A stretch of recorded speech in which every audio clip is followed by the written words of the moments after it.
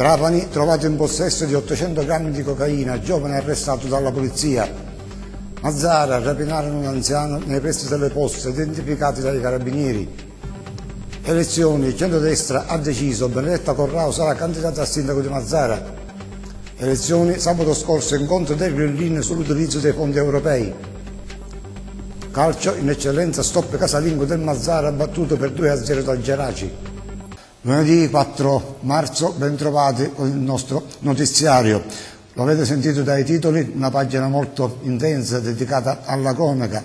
Identificato ed arrestato a Trapani dai carabinieri il presunto autore di un furto in abitazione avvenuto lo scorso 8 gennaio, il servizio. Giro di vite dei carabinieri di Trapani sul fenomeno dei furti in abitazione nelle vicinanze del quartiere San Giuliano. A seguito dei tanti episodi che si sono verificati in zona, i militari hanno intensificato la propria attività di controllo per acquisire informazioni e con l'ausilio delle immagini tratte da tutti gli impianti di videosorveglianza, sia pubblici che privati, sono riusciti ad identificare l'autore di un furto in abitazione avvenuto la sera dell'8 gennaio scorso nella via Fiume Freddo. Si tratta del 32enne trapanese Alessio Minaudo, già gravato da numerosi precedenti per analoghi reati e che sino a cinque giorni prima del fatto si trovava agli arresti domiciliari. Secondo le risultanze investigative dei carabinieri, il Minaudo, aiutato da un altro soggetto in fase di identificazione, dopo aver forzato il portone di ingresso, entrava all'interno di una casa mettendo a sto quadro Dopodiché ne usciva portando via due televisori LCD a bordo di uno scooter guidato dal complice. L'uomo, a seguito di una perquisizione domiciliare messo alle strette e davanti all'evidenza delle prove raccolte, confessava il furto, mentre così i due televisori venivano restituiti ai legittimi proprietari. Il Minabdo quindi è stato sottoposto agli arresti domiciliari. Ed a Trapani un quarantenne è stato arrestato per maltrattamenti in famiglia, in particolare nel nostro servizio.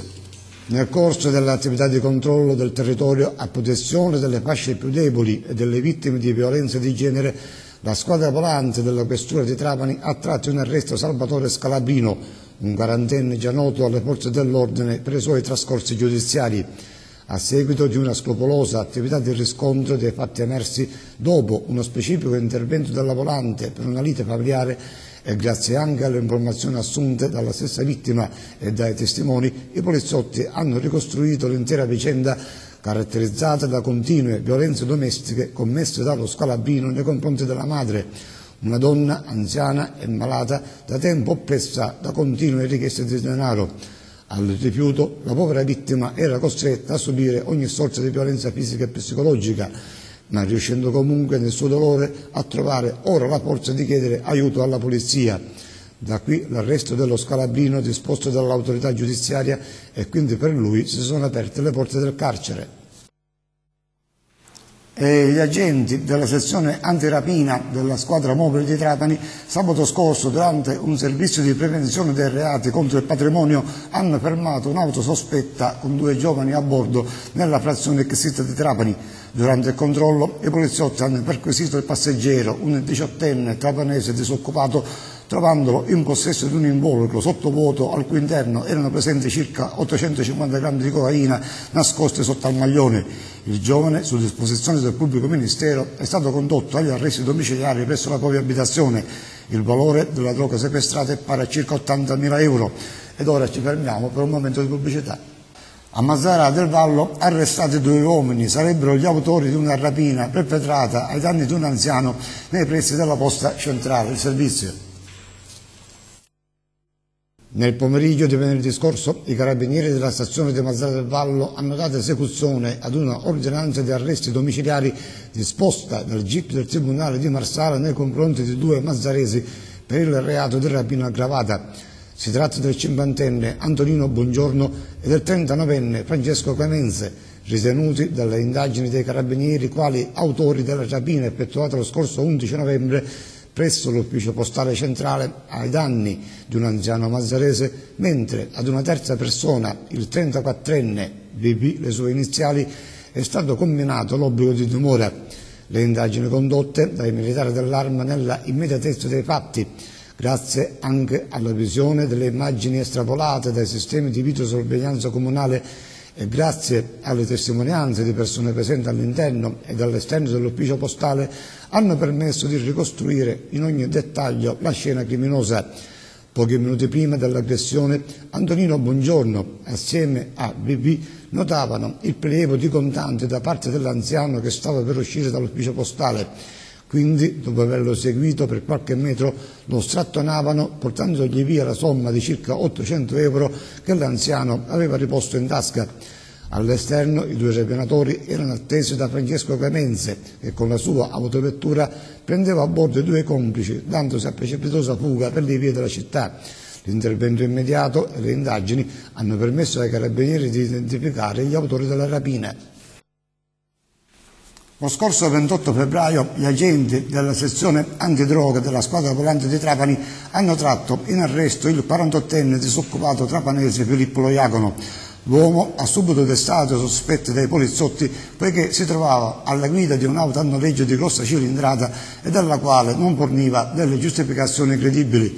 Gli agenti decidevano quindi di perquisire il veicolo e nel portabagagli rinvenivano 24 panetti di hashish dal peso complessivo di circa 2,4 kg. Valore della droga sequestrata è pari a 20.000 euro.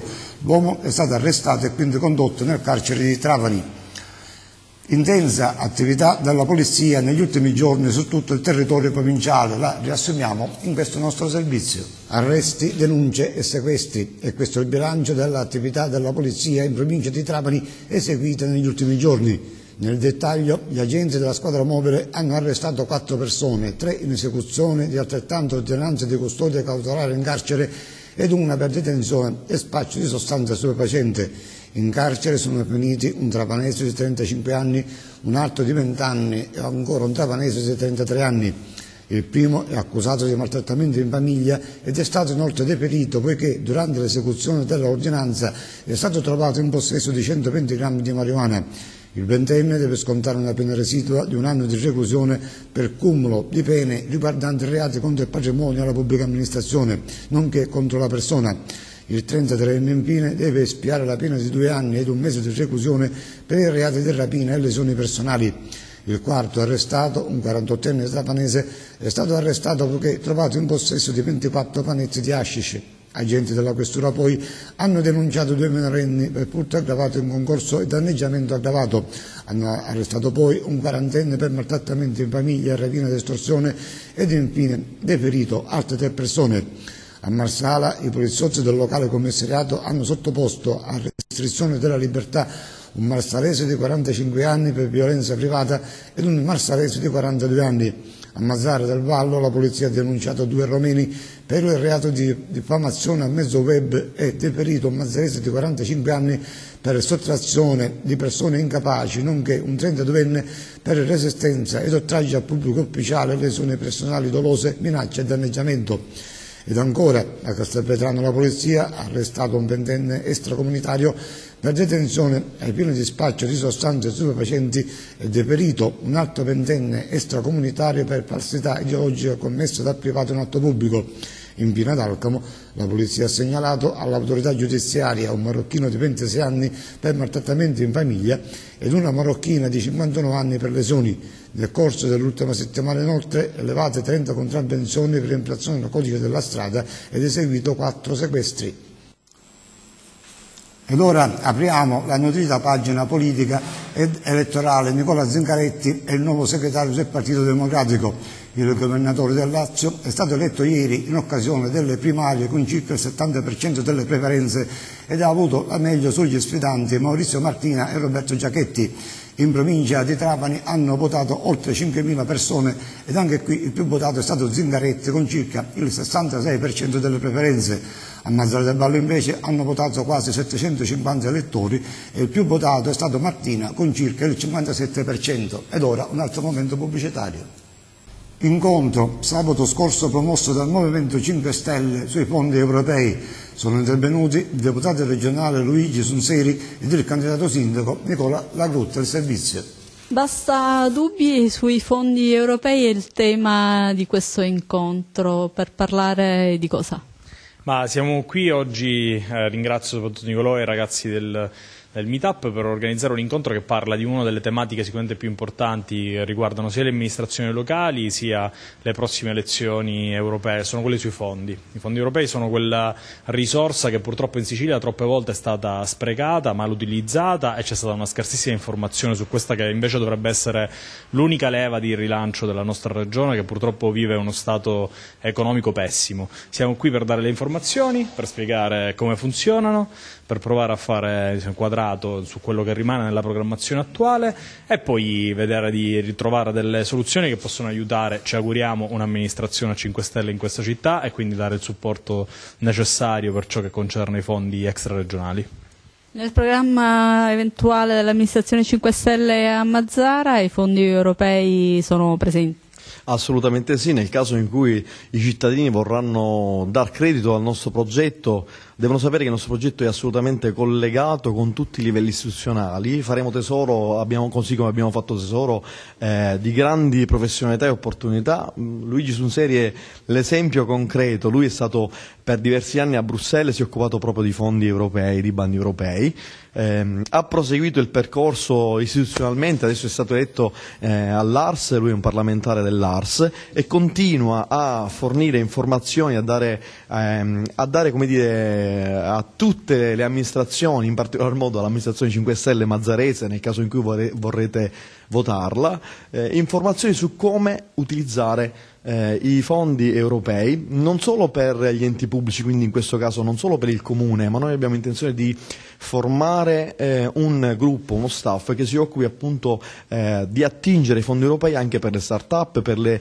micro e medie imprese e non solo quelle, perché eh, dobbiamo dare come dire, grande slancio all'economia mazzarese, dobbiamo dare prosperità a tutti i cittadini e le opportunità provenienti dall'Europa devono essere assolutamente sfruttate nella maniera giusta. Abbiamo quindi sia le professionalità sia i collegamenti con i vari livelli istituzionali e oggi c'è un meetup eh, tecnico, un incontro con, eh, non solo con gli attivisti nostri ma anche con chi vuole realizzare start-up, con le aziende e questo è un punto di partenza. L'amministrazione 5 Stelle sarà molto attenta a sviluppare queste tematiche e a metterle al servizio di tutta la cittadinanza. Ha riportato un grande successo l'evento denominato Road to Mazzara organizzato dai giovani di Forza Italia, un evento al quale hanno partecipato più di 100 ragazzi. Il nostro scopo, si legge in una nota degli organizzatori, era quello di ascoltare i nostri giovani concittadini sui loro sentimenti verso la città, sulle cose che mancano, sulle cose da fare e sulle cose da migliorare. Ci stiamo avvicinando alla campagna elettorale, si legge ancora nella nota, e a differenza di altri partiti che parlano dei giovani senza farli interagire e senza farli sentire parte attiva della società, Forza Italia invece parte proprio dai giovani perché siano loro a decidere le sorti della città. E c'è da dire finalmente è arrivata la cosiddetta quadratura del cerchio per quanto riguarda lo schieramento di centrodestra Intesa raggiunta infatti tra Forza Italia e l'UDC e diventerà bellissima in vista delle elezioni amministrative del prossimo 28 aprile. I tre partiti, più probabilmente la giunta di una qualche lista di area, hanno tra l'altro ufficializzato la candidatura a sindaco di Mazzara del Vallo della professoressa Benedetta Corrao e questo sarà l'oggetto di una conferenza stampa che si terrà domenica prossima 10 marzo la coalizione che sostiene la candidatura a sindaco di Mariella Martingiglio, guidata dai futuristi, punta ancora sul turismo e sulla valorizzazione del centro storico, in particolare nel servizio. Una città senza progetti è una nave senza rotta e senza porti da raggiungere. Non si può amministrare una città senza sapere dove portarla nel domani. Non si tratta di governare un condominio, bisogna avere la dimensione di ciò che si vuole amministrare. Mazzara del Vallo ormai è una città internazionale, conosciuta in tutto il mondo per la sua storia e le sue attività economiche.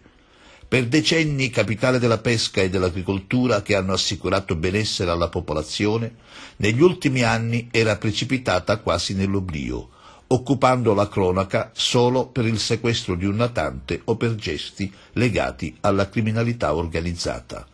Molti dei suoi edifici storici e monumentali erano ormai prigionieri dell'incuria e dell'abbandono. Oggi la nostra città vanta numerosi luoghi museali e siti da visitare.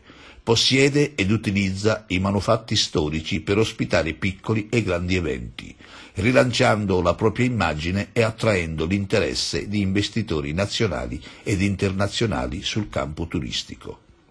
Oggi i suoi alberghi sono tornati a vivere e sono nati centinaia di bed and breakfast, crescono nuovi mestieri legati all'ospitalità di persone che vengono a Mazzara del Vallo anche per la vocazione all'accoglienza. Una città nella quale si è liberi di essere uomini e donne nel pianeta e tra le pietre storiche che hanno visto l'alternarsi di diverse civiltà. Qui greci, fenici, arabi, normanni, spagnoli, francesi hanno contribuito a far diventare questo luogo un grandioso contenitore di storia e di tradizioni. Questa è una città di gioielli nascosti. L'arte antica e contemporanea per il futuro della città. Una città di musei e di luoghi da vivere. Una città sempre più turistica, in linea con lo sviluppo dell'agricoltura e della pesca. Sono candidata al Consiglio Comunale con la lista Volare, a sostegno del candidato sindaco Mariella Martinciglio, per portare avanti e sostenere ancora una volta eh, la continuità dell'amministrazione dell'onorevole Nicola Cristaldi. Ancora qualche nota sulle elezioni. Il candidato sindaco Salvatore Quinci ha partecipato qualche giorno addietro a Trapani all'incontro organizzato nella sala convegni del Museo Pepoli in occasione della decima edizione di Turisti per Cosa, l'appuntamento annuale sul movimento turistico in provincia di Trapani. Per Salvatore Quinci il convegno ha rappresentato un importante momento di confronto sul settore turistico che, volendo, è anche volano dell'economia mazzarese e giovedì prossimo si terrà un altro incontro nella sede di partecipazione politica in via Val di Mazzara, temi dell'incontro con la stampa ed i cittadini, sviluppo centro storico e giovani energia. E prosegue, lo ricordiamo, la programmazione di Televallo sulla prossima campagna elettorale. Appuntamento stasera con inizio alle ore 21.35 con il solito speciale Televallo. Ospiti in studio gli assessori Adele Spagnolo, Giuseppe Fontana e Luca Bono. Ed ora siamo alla pagina dello sport, parliamo di calcio. In eccellenza nel weekend si sono giocate le partite della 25esima giornata di campionato. Seguiamo assieme i risultati e classifiche. Campionato d'eccellenza, girone A, 25esima giornata, Alcamo Castellammare 1-0, Canicaticus Palermo 1-0, Castelbuono Marsala 1912 1-2, Licata Dattilo 5-0, Mazzara Geraci 0-2, Parmonval Profavara 2-1, Partinica Audace Caccamo 0-1, Sant'Agata Mussomeli 1-0. La classifica Licata 67 punti, Canicattì 58, Sant'Agata 51, Dattilo, Mazzara e Parmonval 43, Geraci Alcamo 35, Profavara 34, Mussomeli 29, Castellammare 28, Caccamo 24, Marsala 23, Cus Palermo 20, Partinica Audace 11, Castelbuono 6.